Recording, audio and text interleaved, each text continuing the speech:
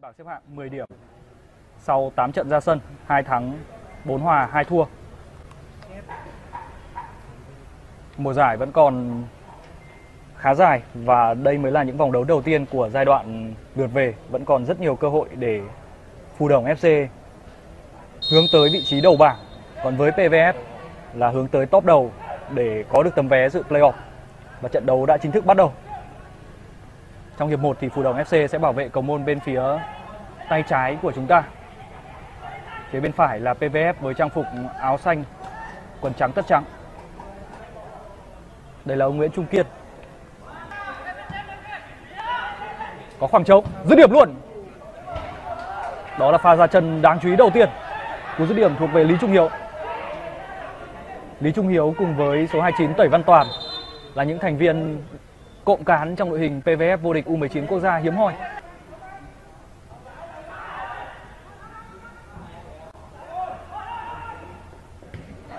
Cú phá bóng của thủ môn Quang Đại, hơi lập bập một chút nhưng vẫn là bóng cho Phù Đồng. Văn Thuận đường chuyền hay. Trận đấu vẫn tiếp tục. Tiến Thành, băng cắt, rất nguy hiểm. Một pha phối hợp sắc nét đến từ Phù Đồng FC. Pha phản công tốt của đội chủ nhà. Người đã có pha đưa bóng vào là Tiến Thành và pha băng cắt thuộc về Vũ Việt Triều. Ngày hôm nay chúng ta đang thấy Vũ Việt Triều có nhiều cơ hội dâng cao hơn khi đá ở vị trí tiền vệ cánh. Quả phạt trách bên mạn phải và đứng trước bóng vẫn là Tẩy Văn Toàn.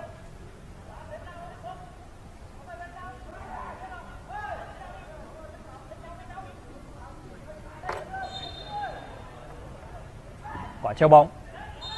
Tiếng còi cất lên. Đã có lỗi của PVF một tình huống treo bóng nửa truyền nửa sút tương đối khó chịu.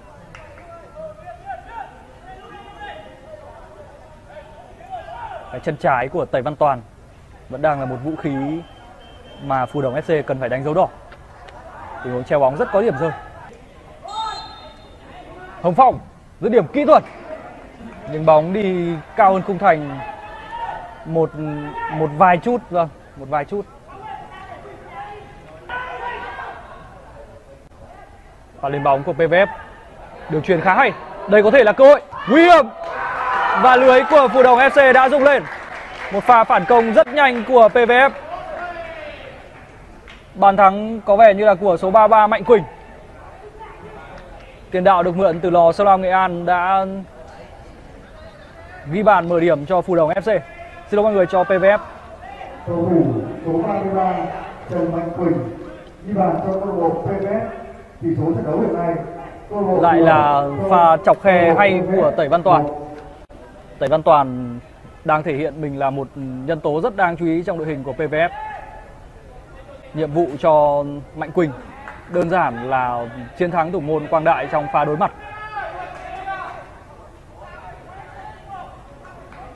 Tình huống bẻ lòng cũng rất chuẩn chỉ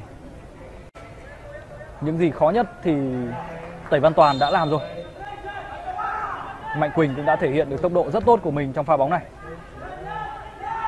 Một ngày mà hàng thủ của Phù Đồng FC đẩy cao hơn thường lệ.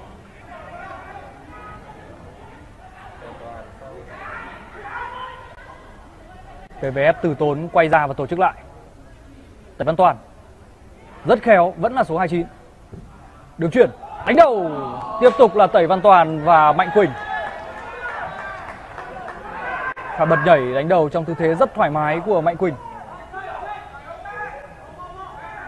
Tẩy Văn Toàn thuận chân trái nhưng vừa có một quả lật có nét bằng chân phải. Nếu là một tiền đạo sở hữu thể hình tốt hơn thì có thể là Mạnh Quỳnh đã làm tốt trong tình huống vừa rồi. Nguy hiểm, không được.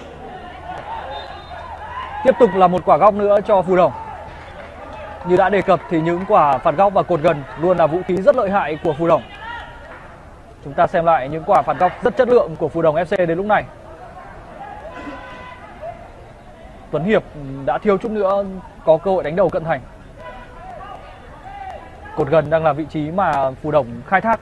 Tương tự, nguy hiểm và tỷ số là một đều. Vẫn là một bài phối hợp cực kỳ hay của Phù Đồng FC. Và tỷ số đã được quân bình. Chúng ta phải chờ pha quay chậm để thấy xem ai đã lập công Nhưng không sao cả. Vì trận đấu đã được đội chủ nhà giật về vạch xuất phát. Cầu thủ số 38 Hồ Nhật Cường ghi bàn cho đội Như đã đề cập Thì những tình huống đá phạt góc và cột gần luôn là vũ khí rất lợi hại của Phù Đồng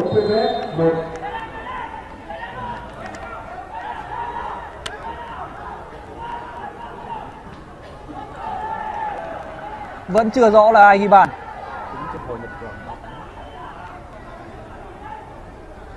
Có vẻ như là Hồ Nhật Cường. Đang có một trận đấu thực sự rất cứng cáp. Chơi phòng ngự phản công hay.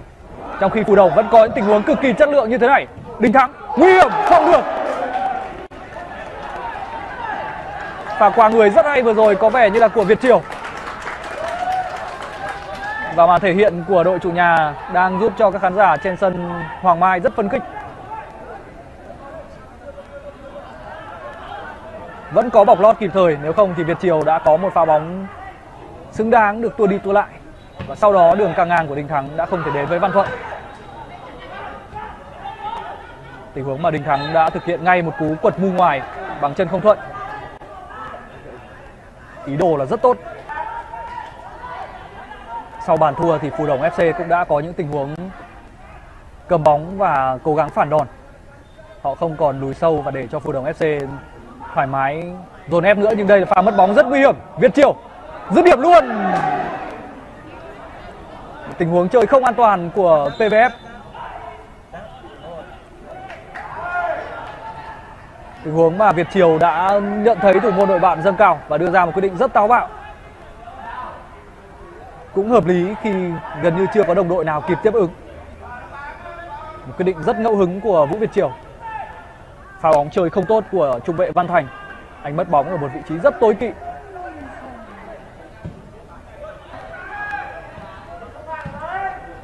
Quả lật bóng khá tốt. Đây có thể là cơ hội, dứt điểm. Phù Đồng FC đang có trên sân hai tiền đạo rất nguy hiểm trong vòng cấm là Văn Thuận và Tuấn Hiệp. Văn Đạt. Lại một quả phản góc rất khó chịu, nguy hiểm. Bóng đã cuộn thẳng vào khung thành, nhưng thủ môn Văn Bá đã chơi tập trung. Và tiếp tục là một pha bóng nóng. Xuân Bình là người bị phạm lỗi. Những phút rất khó khăn cho các cầu thủ trẻ của PVF khi họ đang có dấu hiệu bị cuốn theo lối đá của Phu Đồng những quả đá góc của Văn Đạt có chất lượng rất cao kể từ khi cầu thủ này vào thay người. Và sau đó là tình huống phạm lỗi rất rõ ràng. Lỗi cao chân của Quang Tú, cầu thủ vừa vào sân. Một quả ném lao. Quả ném lao rất chất lượng, nguy hiểm. Bóng lộn xộn. Bóng vẫn trong vùng nguy hiểm và tỷ số là 2-1 cho PVF. Những diễn biến cực kỳ hấp dẫn. Bàn thắng được ghi bởi số 32 Thanh Nhàn. Một lần nữa đội khách vượt lên. Trong thế gặp rất nhiều khó khăn. Bị gỡ hòa, bị ép sân, mất thế trận. Nhưng PVF đã biết chắc chiêu cơ hội của mình. Tình huống chớp thời cơ nhanh của Thanh Nhàn. Các cầu thủ trẻ của PVF ừ, một lần nữa thể hiện họ không hề non.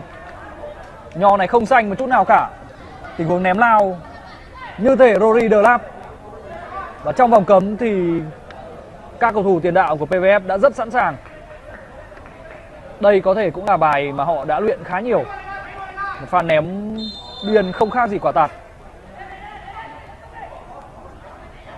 Hàng thủ của Phù Đồng đã không thể giải quyết gọn gàng tình huống phá bóng. Và Nguyễn Thanh Nhàn đã có một pha không chế bóng bằng đùi trước khi vô lê rất gọn gàng. Một trận đấu cực kỳ hấp dẫn đến lúc này. PVF một lần nữa vượt lên. Cú dứt điểm khiến thủ môn Quang Đại hoàn toàn trôn chân, khi trước mặt anh là quá nhiều người. Lại một đường truyền. Đây có thể là cơ hội cho đòn chốt hạ của PVF. Đối mặt, không được. Nhưng vẫn còn. Vẫn là bóng cho PVF. Và tỷ số là 3-1. Bàn thắng của Tẩy Văn Toàn.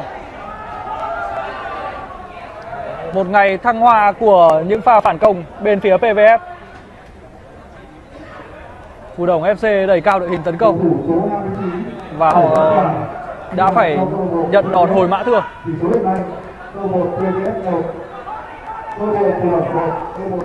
Tẩy Văn Toàn, cầu thủ có lẽ xứng đáng được chấm điểm cao nhất kể từ đầu trận, đã có cho mình bàn thắng.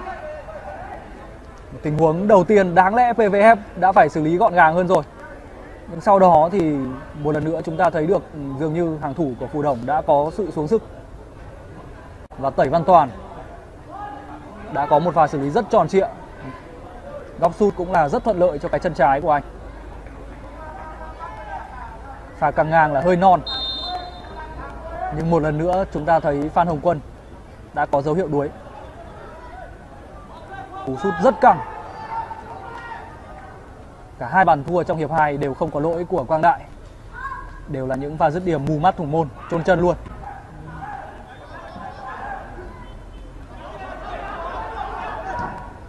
Cái chân trái cực kỳ lợi hại của Tẩy Văn Toàn. Trọng tài Nguyễn Nhật Minh đã nhìn đồng hồ.